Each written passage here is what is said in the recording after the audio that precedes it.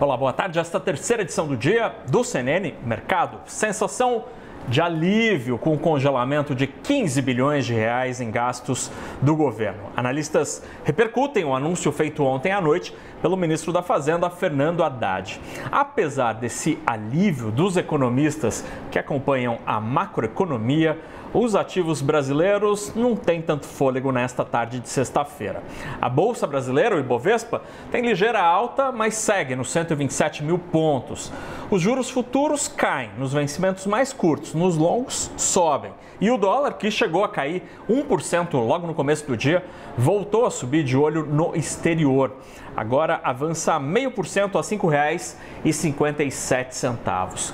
O dólar sobe especialmente pela cautela que se impõe nos Estados Unidos, onde as dúvidas eleitorais pesam cada vez mais. Os investidores estão confusos sobre o cenário das eleições. No começo da semana, a aposta era crescente em Donald Trump após a tentativa de assassinato no sábado. Agora, o vento parece mudar um pouco com a possibilidade de desistência do democrata Joe Biden à corrida presidencial. Para piorar, ainda tem o caos tecnológico hoje gerado pelo apagão nos sistemas da Microsoft. E aqui no Brasil, o Rio Grande do Sul está em emergência zoossanitária.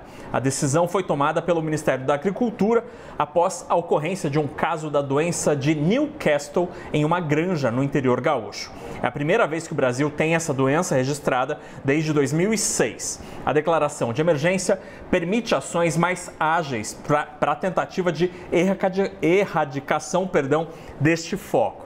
Entre as ações previstas estão o sacrifício de aves, onde o foco foi confirmado, e uma demarcação de zonas de proteção a um raio de 10 quilômetros dessa propriedade.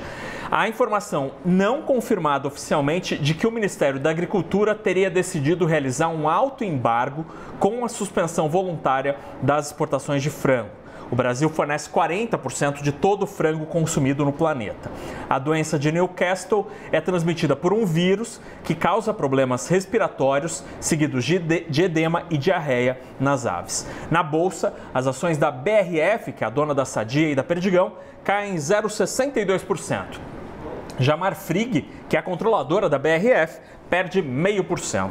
O Ministério da Agricultura cita que a população não deve se preocupar com o caso e pode continuar consumindo carne de frango e ovos, pois os produtos vendidos ao consumidor são inspecionados pelo Serviço Veterinário Oficial. O CNN Mercado volta às 10 para 6 com mais atualizações desta sexta-feira. Você fica agora com 360 e Débora Bergamasco. Boa tarde.